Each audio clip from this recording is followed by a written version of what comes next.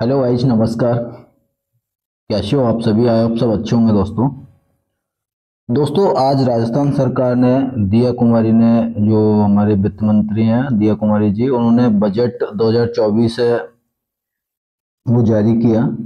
तो राजस्थान चिकित्सा विभाग को क्या मिला, वो हम यहाँ पर डिस्कस करने वाले हैं कंप्लीट डिटेल में। जैसा कि आपने थंबनेल देख लिया होगा टाइटल देख लिया होगा तो यहाँ पर सबसे पहले जो हमारे फ़ील्ड को लेके इम्पोर्टेंट थिंग है, वो देख लेते हैं कि 1500 तो डॉक्टर्स के पोस्ट हैं, वो सर्जित की गई हैं यहाँ पर और 4000 नए नर्सिंग पद हैं, वो सर्जित किए गए हैं। अभी तक यहाँ पर नर्सिंग पद बताए नहीं गए हैं कि ओनली नर्सिंग ऑफिसर है या फिर एएनएम में और जीएनएम संविदा कर्मी, जैसे, अभी, राजस्थान कर्मचारी चयन बोर्ड ने भर्ती कराई थी। जैसे उस प्रकार से यहाँ पर अभी क्लासिफाई नहीं किया है। और यहाँ पर आपने देखा हो कि हमने लिखा था, जानिए वैकेंसी ये कब तक आएँगी? चार हज़ार नए पद सर्जित किए हैं नर्सिंग पद।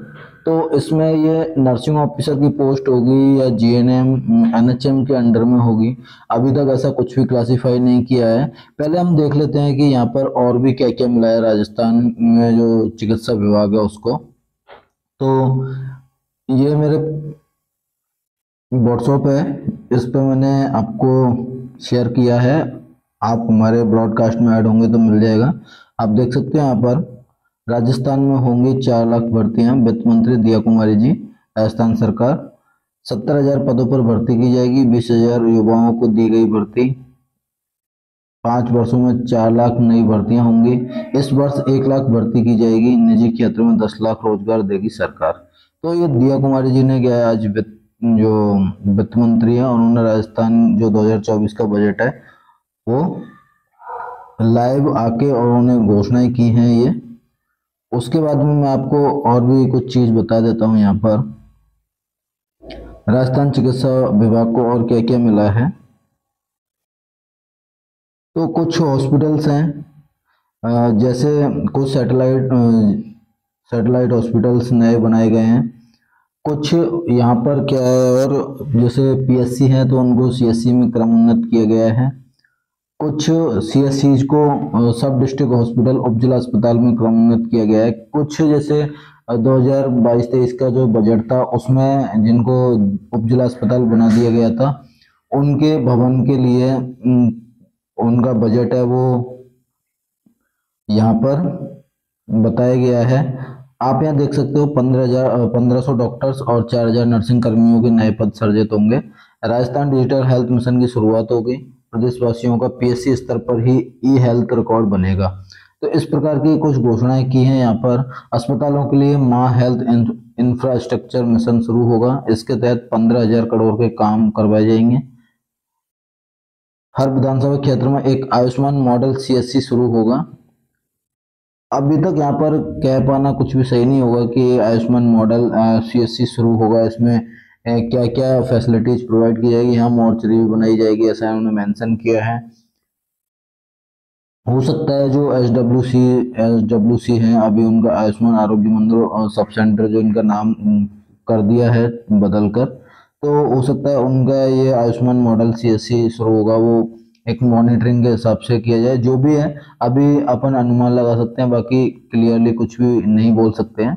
गर्भवती महिलाओं की प्रसव पूर्व जाँच के लिए माँ योजना के तहत बाउचर दिया जाएगा। छोटे स्थानों पर निजी अस्पतालों के एम्पेनलमेंट के नियमों में रियायतें दी जाएँगी।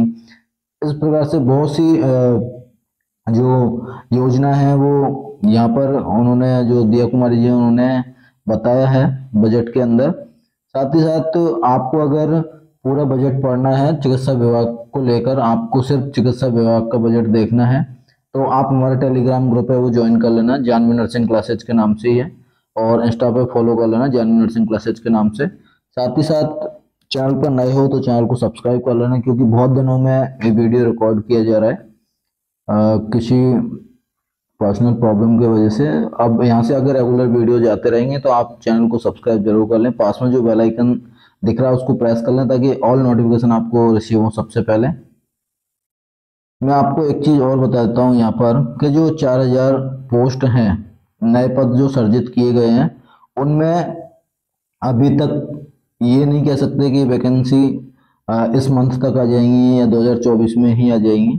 अभी पद सर्जित किए गए हैं। पद सर्जित होने के बाद में ये फाइनेंशियल डिपार्टमेंट होते हैं, वहाँ से इनको मतलब वो मंजूरी मिलेगी सेंसन मिलेगी। उसके बाद में आ, कब भर जैसे अभी तो सर्जित किए हैं तो सेंसन होने के बाद में क्या रहता है? इनका जब भी नीड होगी फिर से एक बार इनकी सेंसन होगी। वो बहुत लंबा टाइम लगेगा इनको अभी पद सर्जित किए गए हैं तो आप ऐसे ना रहें कि भाई अभी वैकेंसी आने वाली है। कोई यूट्यूब चैनल वाला आपको बताता है कि वैकेंसी आ गई है ऐसा कुछ वीडियो बनाते हैं तो आप बिल्कुल भी भ्रमित ना हो। पूरा बजट पढ़ना है तो आप हमारे ऑफिशियल टेलीग्राम ग्रुप को ज्वाइन कर सकते हो। वहाँ से पूरा आपको एक एक पॉइंट हाईलाइट करके बता दिया जाएगा पीडीएफ के अंदर। So I hope you get it all information and thanks for watching this video guys फिर मिलेंगे किसी लेटेस्ट और अच्छे अपडेट के साथ में। Thank you